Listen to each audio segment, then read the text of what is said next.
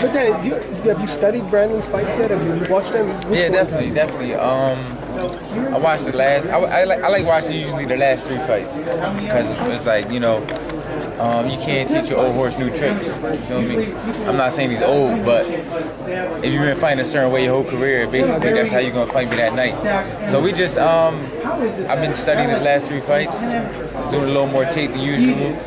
Watching my last fights too, see what things I can strengthen on, and um, just getting together a great game plan. Now, Danny, you, you mentioned about Keith Thurman's movement. If I can play devil's advocate just a little bit, Mm-hmm. uh, have you added to the training camp some agility movement so you can cut the ring off and I mean, I felt like I fought a great fight. To be honest with you, um, his movement didn't bother me. He just didn't engage.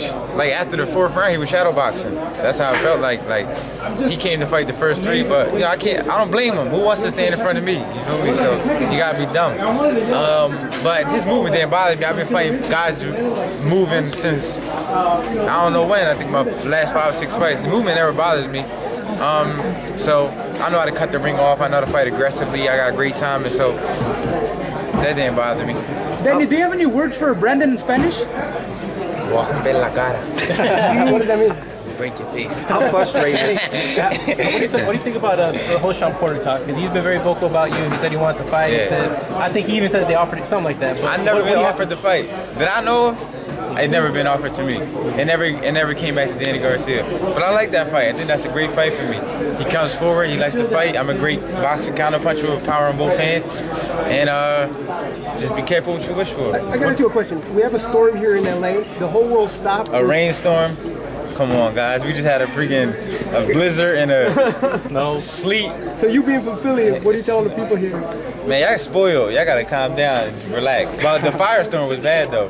fire- yeah, yeah, we don't get that. We don't get like the whole neighborhood on fire thing. But um, yeah, man, y'all good, man. It's rain. You need some rain. Make the flowers grow.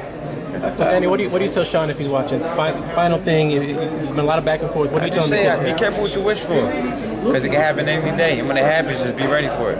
I'm, I'm ready for whatever. You surprised he's been so vocal about you in particular?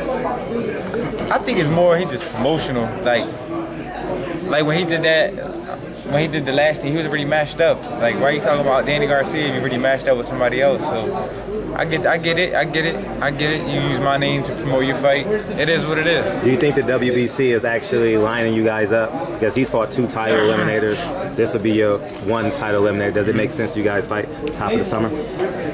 It will make sense, but at the end of the day, I was the champion. So if anything, I get first. I get, I get, I get first shot at anything before anybody. Danny, you said um, It's just, it's just respect at that point. You feel me?